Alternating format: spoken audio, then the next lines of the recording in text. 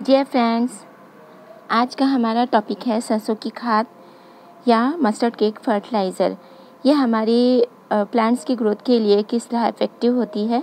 आज का हमारा यही टॉपिक है।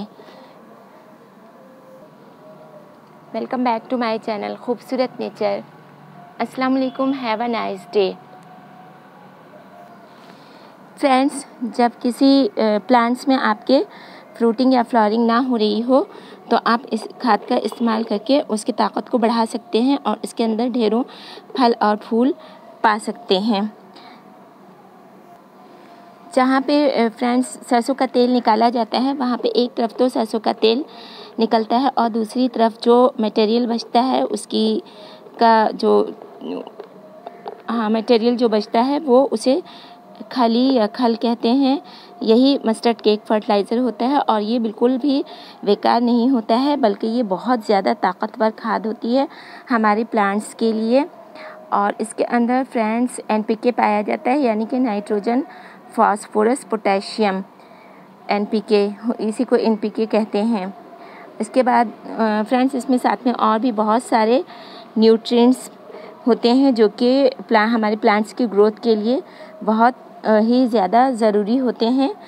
और जैसे कि फ़ाइबर, मैग्नीशियम वगैरह। इसके इस्तेमाल से न सिर्फ़ इस पर फ्लो, फ्लावरिंग होती है, फ्रूटिंग बहुत होती है, बल्कि इसमें कीड़े, चूंटियाँ वगैरह भी नहीं लगते हैं। ये खाद, फ्रेंड्स, फूल, फल, सब्जियों वाले पौधे में इस्तेमाल की जाती है।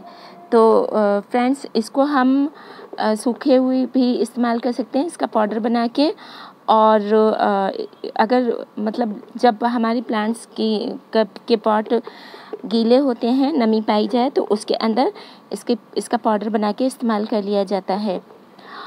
वरना इसको भिगो के रख दें और दो दिन तक सौ ग्राम खाद को भिगो के रख दें पानी में और उसको बीच बीच में हिलाते भी रहें, जैसे कि मैंने ये भिगो के रखा हुआ है और सौ ग्राम और इसको फिर दो लीटर पानी में हम मिला लेंगे। दो लीटर पानी में मिला के फिर पौधों के गमले में डाल सकते हैं और आप इसके असरात बहुत ज़्यादा देखेंगे देखेंगे कि बहुत जल्दी इसके अंदर फ्रूटिंग और फ्लावरिंग स्टार्ट हो गई है आपके प्लांट्स में। तो उसके लिए गमला सूखा हुआ होना चाहिए, उसकी मिट्टी सूखी हुई होनी चाहिए। मेरा ये देखिए, मैंने बहुत सारे मिर्ची के प्लांट्स की आपको रिपोर्टिंग दिखाई थी। तो इसके अंदर फ्लावर तो बहुत आ रहे थे बट जो है फ्रूटिंग नहीं हो रही है। बस और भी सारे प्लांट्स में यही है किसी में एक मिर्ची, किसी में दो। इससे ज़्यादा इसके अंदर फ्रूटिंग हो ही नहीं रही है। ये देखिए, इसमें भी सिर्फ़ एक ही मिर्ची है। तो इसी के लिए मैंने ये खाद बनाई है। तो 200 ग्राम, अगर अगर आपने 100 ग्राम लिया है मस्टर्ड फर्टिलाइज़र तो उसको दो लीटर पानी में भिगा देंगे, मिला देंगे मिक्स करके। डालेंगे। तो इसके लिए मिट्टी सूखी हुई होनी चाहिए। ये देखिए मैंने पानी ये लिया हुआ है। इसके अंदर ये मिक्स कर देंगे। और जब इसको भिगाएँ फ्रेंड्स तो बीच बीच में हिलाते रहें। और 24 फोर आवर्स से लेके 48 एट आवर्स तक इसका भीगा रहना ज़रूरी है। बस इससे ज़्यादा ना भिगाएँ। इसको बहुत दिन तक स्टोर करके नहीं रख सकते हैं। देखिए, मिट्टी थोड़ी सी नम ही है मेरी, बट अब मैं इसमें मिला दे रही हूँ ये।